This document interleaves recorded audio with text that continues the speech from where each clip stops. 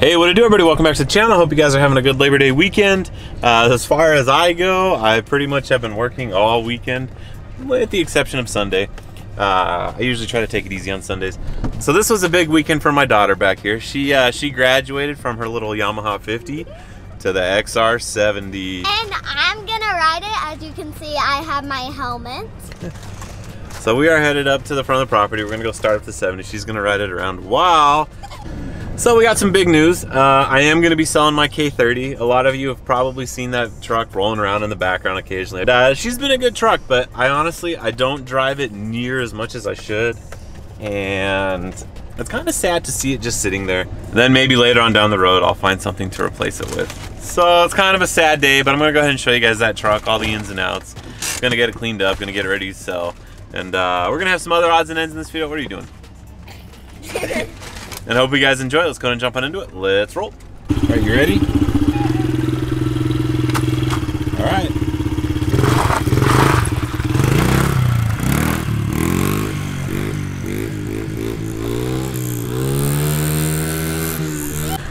So yesterday she was ripping around, I think, and all of a sudden I hear click in a second, and she just goes flying by. These are those proud dad moments.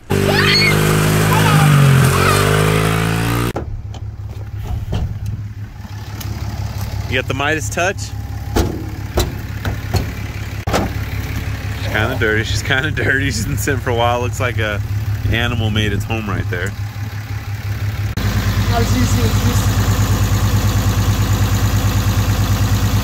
Along with some jumper cables and see if we can get it going.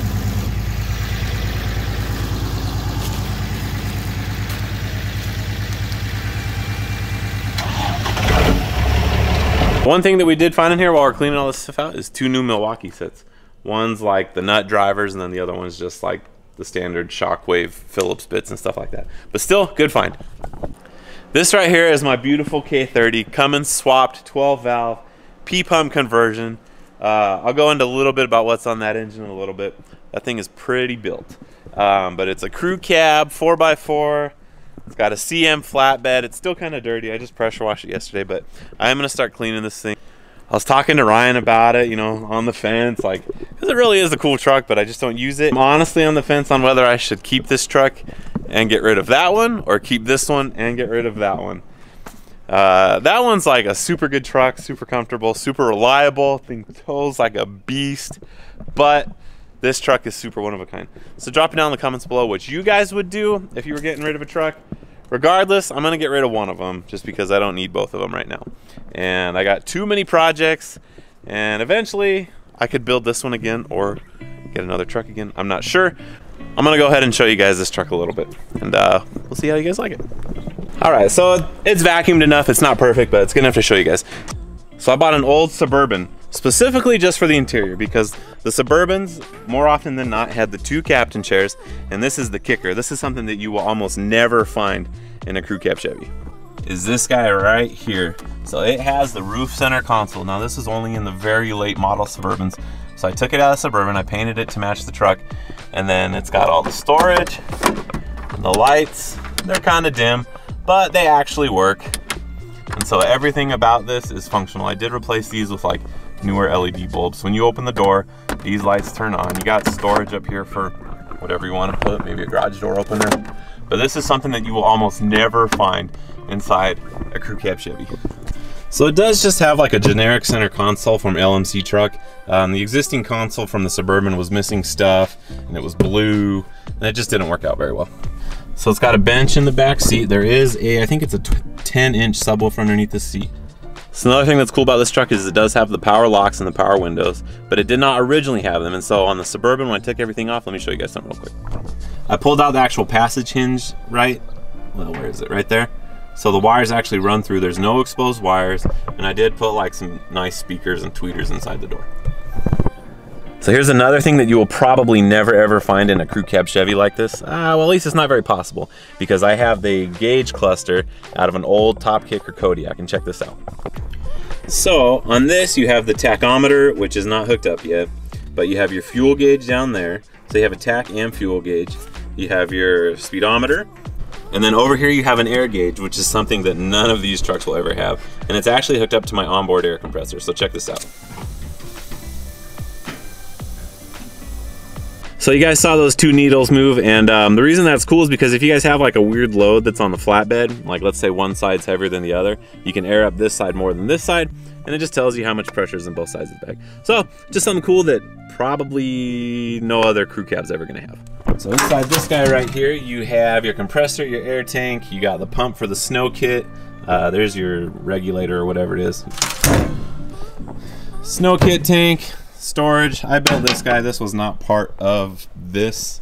So then you have your fuel right here. I did put a mid-mounted, much larger tank in the middle of this instead of the two side-mounted because I don't like side-mounted tanks. So it's got airlift airbags. Uh, works super good. Um, I built those traction bars. They turned out pretty good. It's pretty dirty right now, but the transfer case does have some shiny stuff on it. It does have a disc brake on the drive shaft. I'll explain that one in a little bit. It does have the four inch exhaust brake, which is super sweet. Then it's got a gauge cluster that I made that turned out pretty good. I tried to texture it the best I could so it would look like the rest of the truck. Um, you guys can see it did crack a little bit up here, but you know, you guys could fix that.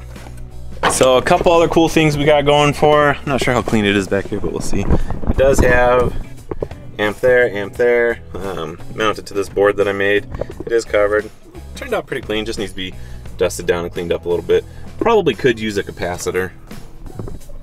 I had this rear window tinted. I tried to do it myself and I failed, so they did a pretty good job.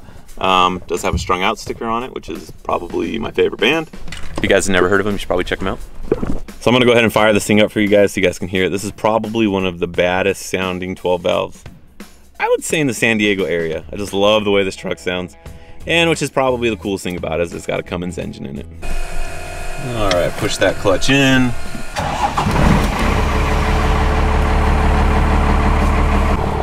All right, well, let me get this camera set up to where I can uh, rev it up for you guys a little bit.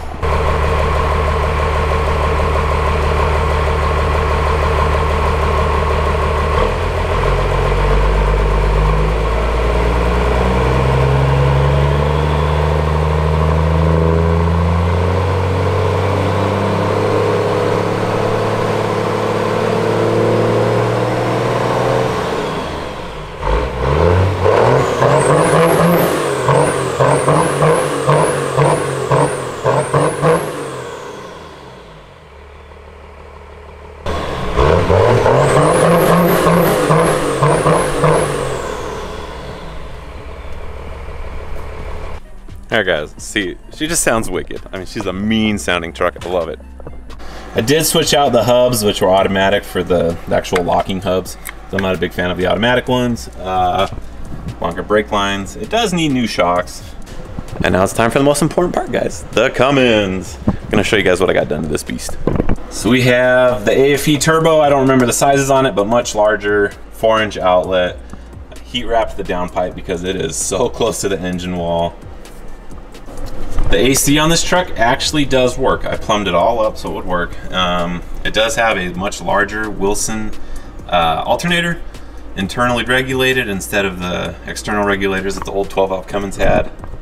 I did put different crankcase breathers on the top of this truck. It's a special valve cover that's specially made for this, just to kind of help not leak so much oil that the old 12 valves typically leak through the old crankcase breathers that are down there. Did do a P-pump conversion because this is originally an 89 block, so this has the 191 delivery valves, 4K governor spring, extended rack plug. It does have pretty much a garden hose that fuels this thing. Uh, I think that's it as far as the P-pump goes. It's got the Banks twin ram. Now I know a lot of people be like, oh, that doesn't add horsepower, but I think it looks cool.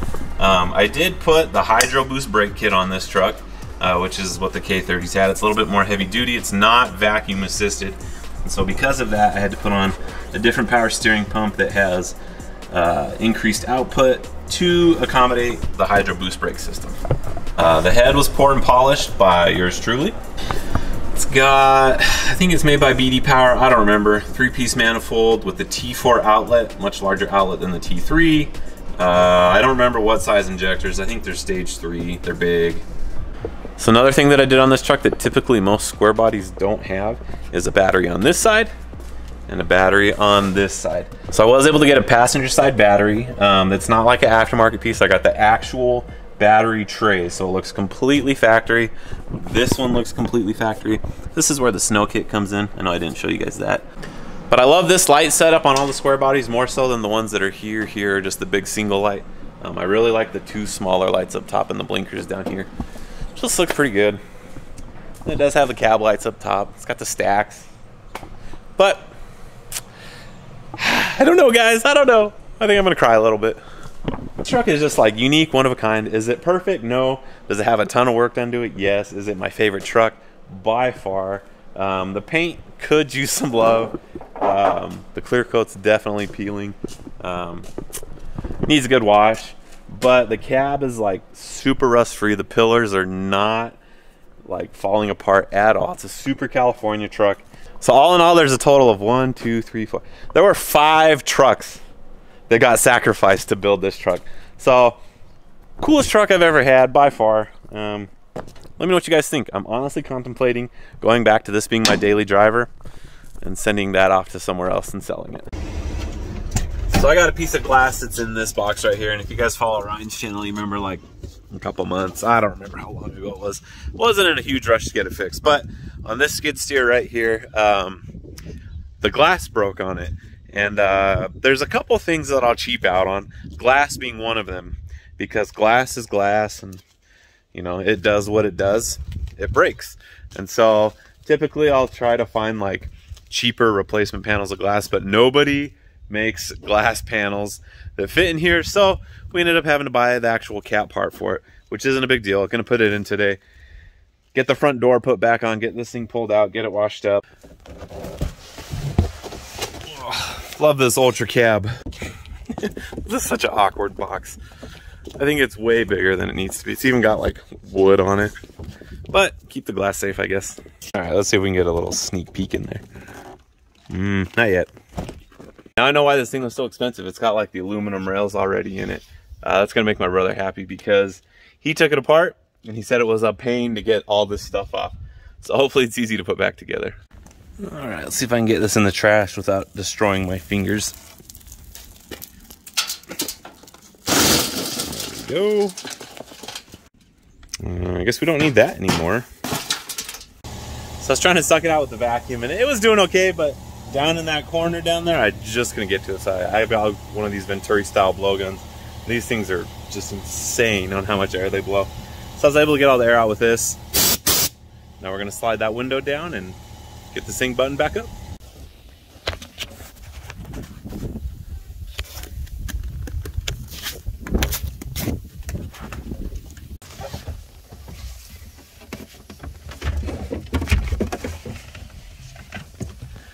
All right, so after this window's in, you just gotta put like a screw here, screw here. That pretty much holds it in place.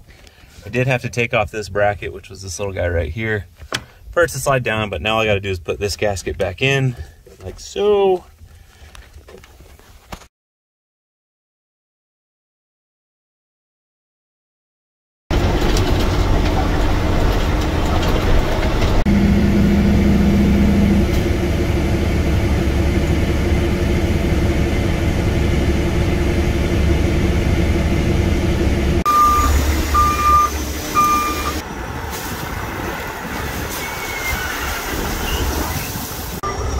Right, so we got three truckloads of mulch because we got a lot of work coming up that we're gonna need all this mulch for.